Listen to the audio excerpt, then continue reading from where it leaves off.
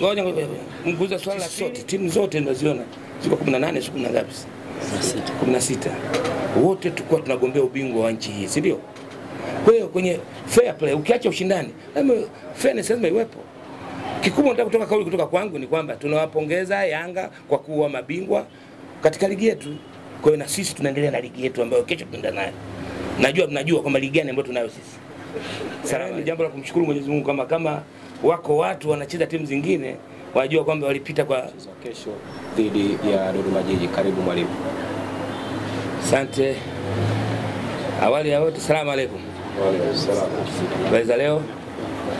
Baada ya kum, baada ya kumshukuru Mwenyezi Mungu mwingi wa rehema alitujalia pumzi hii na afya hizi kukutana leo kuzungumza mchezo wetu wa kesho. Kifupi ni kwamba maandalizi yote ya kucheza mchezo wetu wa kesho yamekamilika. Tunajua nacheza mechi na timu ngumu ambayo nayo pia ina malengo yao na sisi pia tuna malengo yetu. Kwa kulijua hilo na kufahamu hivyo, utayari wa kucheza mechi hiyo ya kesho uko tayari kwa asilimia mia. Kikubwa ni kuomba tu kwamba watu leo washinde salama, walale salama na waamke salama, na mwisho yote kesho wakatimiza wajibu wao. Captain. Moja kwa moja. Eh, tu- kwa tu- Tuweza kwa jumla. Asante. Habari Habari za mchana ndugu waandishi habari. Ya tayari tushafika kwenye kituo cha mchezo hapa Dodoma na maandalizi yote yako tayari kuelekea katika mechi yetu ya kesho. Kwa hiyo ah, tupo tayari kwa ajili ya mapambano. Tunafahamu uh, tutakuwa na mchezo mgumu na naamini mchezo utakuwa ni mzuri kwa sababu uh, Dodoma wana timu nzuri. Kwa sisi pia tumejiandaa kwa ajili ya kukabiliana nao kuhakikisha kwamba tunakuwa na mchezo mju, uh, mzuri kwa ujumla. Asante sana. Huyo ni nahodha Mohamed Hussein Zimbo Junior, lakini umemsikiliza pia coach Juma Mgunda. Na sasa tunakaribisha maswali kutoka kwa vyombo vya habari. Utaanza kumtambulisha jina lako na chombo unachotokea na kisha utaelekeza swali moja kwa moja. Tukipata maswali matatu kwa mpigo na kocha akipata kuyajibia, itakuwa ni vizuri zaidi kwenu waandishi wa habari. Waandishi wa habari ambao wako tayari kwa swali, karibuni, uwanja ni wa kwenu.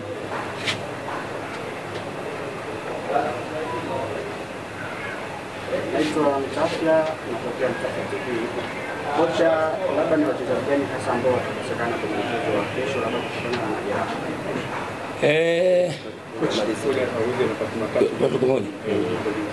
Asante, naitwa Idi Waziri Jemedari, ni mwandishi wa habari wa Mkuti TV. Mimi nilikuwa nataka niweze kumuuliza kocha ili aweze pia kutusaidia, ni kwa nini wako, makocha wazawa mnafanya vizuri sana katika ligi za ndani, lakini inapokuwa katika ligi ya nje huwa hamwezi, mashindano ya nje huwa hamwezi kufanya vizuri, ila kwa wageni makocha wanaokuja hapa nchini kwenye ligi za ndani huwa hawafanyi vizuri, lakini nje huwa wanafanya vizuri. Wewe kama wewe kocha, kwa uzoefu wako, kwa nini inakuwa namna hiyo? Kwa jingine? Kocha.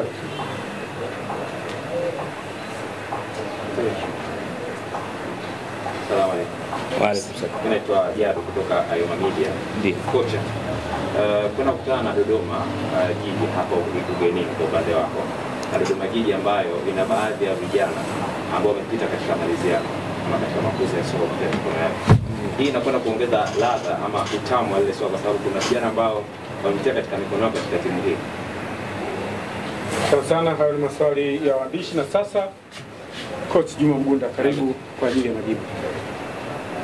Asante sana bwana Mtavi, uliuliza nini?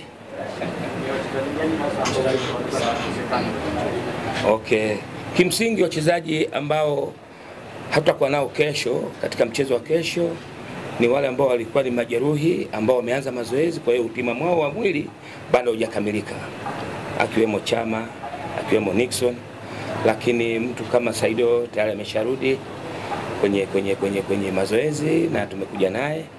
Kwa hiyo kwa ujumla wachezaji karibu wote wapo, kiacha yule wale, kuna wengine ambao walikuwa na walikuwa wame, wamezuiwa kutokana na kanuni Eh, Ngoma alikuwa na yellow card tatu, kwa hiyo kwa mujibu wa kanuni asingeweza kucheza, kwa hiyo ameshamaliza Kwa hiyo mtu kama Ngoma amesharudi kikosini. Kwa hiyo kwa ujumla kwamba wachezaji wote ambao wanao uzima wa kucheza wamewasili Dodoma na wako tayari kucheza mchezo wa kesho. Ndugu muuliza swali la pili, ngoja muuliza swali la pili. Tunacheza mchezo kesho kati ya Simba na Dodoma Jiji. Swali lako nitafuta wakati mwingine ndio nitakujibu kwa sababu na hapa sio mahali pake. Swali la tatu juu ya wachezaji ambao wamepita kwa mikono yangu. Kwanza ni jambo jema kama mnatambua hivyo. Eh, ni jambo la kumshukuru Mwenyezi Mungu kama kama wako watu wanacheza timu zingine wajua kwamba walipita kwa Mwalimu Mgunda, jambo jema. Ni kweli kutakuwa kuna ushindani kwa sababu tunawaheshimu Dodoma Jiji. Ni moja ya timu yenye timu ya wachezaji vijana wenye uwezo wa kujitoa. Kwa hiyo naamini kabisa kwamba mchezo wa kesho utakuwa na ushindani mkubwa kutokana na wachezaji ambao la swali aliouliza muuliza swali. Kweli kubwa ndio nikwambia kitu kimoja. Kwa kuwa tunaelewa hivyo na kufahamu hivyo, maandalizi vizuri ya kucheza nalo vijana wangu yamekamilika, wala hakuna shida. Asante, tunaenda awamu nyingine ya maswali kwa upande wa Simba. Karibu. Naitwa Ruga Isel kutoka UFM Radio. Uh, nataka kufahamu kuhusiana na mchezo uliopita. Uh, umeleta athari gani hasa kuelekea katika mchezo mwingine, kwa sababu uh, kwa kipindi hiki unahitaji umuhimu wa pointi ili uweze kuingia kwenye nafasi ya pili, pengine hata wa- wa- wachezaji walimu Uh, lugha ya sura zao wanazungumza vipi sasa na jinsi ya kukabili mchezo wenyewe ambao Dodoma Jiji nao wanajitafuta ili wasiweze kushuka daraja na nyie pia mbakie kwenye nafasi ya juu kucheza mashindano ya kimataifa. Najua moja kwa moja? Okay. Kwamba uzuri kwamba unapocheza mechi moja na kumaliza, hili ndio inakupa picha ya mchezo mwingine. Kwa hiyo tumecheza mchezo wa juzi, tumecheza Bukoba eh? Kuna vitu ambavyo vimeonekana, na kwenye mpira hata ufanye mazuri namna gani, mapungufu yakosekani. Kwa hiyo ndio maana walimu kila unapotoka kwenye mechi moja kuandaa mechi nyingine, ni kwamba kile kilichojitokeza kwenye mchezo uliomaliza yale mazuri ambayo yalijitokeza pale eh, ambayo mliyatengeneza kabla kabla ya kuonekana, tenda kuyafanyia kazi ili yaendelee kuwa mazuri, lakini kuna yale mapungufu ambayo huwa yanajitokeza, au sio? Pia mnaenda kuyafanya kazi kwa ajili ya kucheza mchezo mwingine na kupata matokeo yaliyokuwa mazuri. Naam. Na kupokea wachezaji, kwanza lazima uelewe kitu kimoja, wachezaji kazi yao au wajibu wao ni kutumikia timu iliyosajiliwa. Kwa hiyo ikishafika swala la, la kucheza, wao kazi yao ni kutimiza wajibu wao wa kucheza. Jinsi gani wanacheza ni yale maandalizi ambayo yako kwenye nini, kwenye viwanja vya mazoezi. Baada ya hapo, sisi ndio tunawapa majukumu mengine. Kama nilivyosema mwanzo, lile limeshakwisha, lakini limeshatuonyesha tutafanya nini katika mchezo ujao. Kwa hiyo wachezaji wako tayari kuitumikia na kutimiza wajibu wao katika mchezo wa kesho kama kazi yao inavyotaka.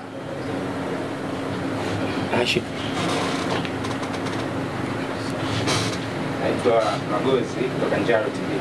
Kochi, umekuwa na uh, mwendelezo wa kuwatumia wachezaji ambao walikuwa hawatumiwi mara kwa mara. Kipi ambacho uligundua na kuelekea mchezo huu wa Dodoma utaendelea kuwatumia wale wale au itakuwa ni kama ilivyokuwa nyuma? Kwanza ndugu zangu waandishi wa habari, naomba ili tuelewane vizuri. Mchezaji akishasajiliwa na timu yake, wajibu wake ni kuitumikia timu yake. Nilichokuta wachezaji walioko pale Simba ni wachezaji wamesajiliwa na Simba kwa ajili ya kuitumikia Simba. Kwa hiyo ukiona wanacheza Simba, wanatimiza wajibu wao. Mwingine wewe tena. Mwalimu, nitaka kupata comment yako. Uh, watani wa jadi wameshatangaza ubingwa, wameshatangaza kwa mabingwa. Kwa upande wako binafsi, nataka kusikia neno kutoka kwako Inahusiana na mchezo wa kesho? Yeah. kubwa ni moja. Unajua sisi sote timu zote naziona ziko 18 siku na ngapi? 16. Wote tulikuwa tunagombea ubingwa wa nchi hii, si ndio? Kwa hiyo kwenye fair play, ukiacha ushindani, lazima fairness lazima iwepo. Kikubwa nataka kutoka kauli kutoka kwangu ni kwamba tunawapongeza Yanga kwa kuwa mabingwa katika ligi yetu. Kwa hiyo na sisi tunaendelea na ligi yetu ambayo kesho tunaenda nayo. Najua mnajua kwamba ligi gani ambayo tunayo sisi. Salamu alaikum. Asante sana kochi, na kwa upande huu wa Simba tunamaliza sasa. Tunawakaribisha Dodoma Jiji na wenyewe waje watuambie yale ambayo wameandaa kuelekea kesho. Ulipata kumsikiliza. Mkunda, lakini pia kwa niaba ya wachezaji tumsikiliza nahodha Ah. Ahmed Hussein. Zingwe Junior. Na sasa ni zamu ya Dodoma Jiji, tunaye mwalimu Kasim lakini tunaye nahodha Anderson Solomon Kimweri ambao nao watakuja hapa kwa niaba ya Dodoma Jiji kutueleza kile ambacho umetuandalia katika mchezo wa hapo kesho. Sana coach Kasim, utuambie katika mchezo wa kesho maandalizi yenu yako vipi? Asante, nashukuru. Sisi kwa upande wetu kama Dodoma Jiji, uh, maandalizi yetu kwa asilimia kubwa yako vizuri.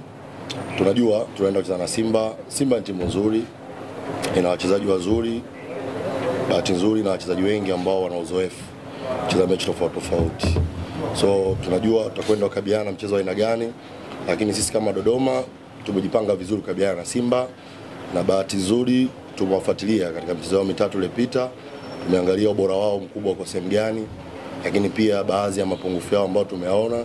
Kwa sisi kama benchi la ufundi uh, tunaandaa wachezaji wetu kwenda kukabiliana na Simba. Asante mwalimu, labda sio mmoja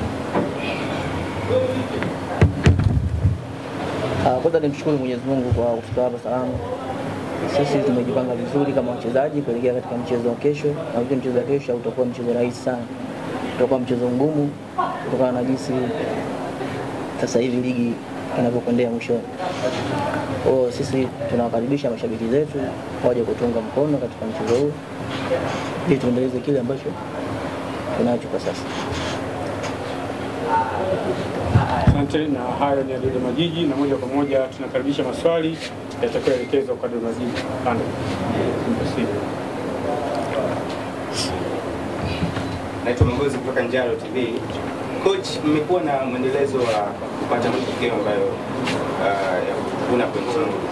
Nini unatuambia mashabiki uh, unaambia nini mashabiki wa Dodoma kuelekea mchezo wa kesho?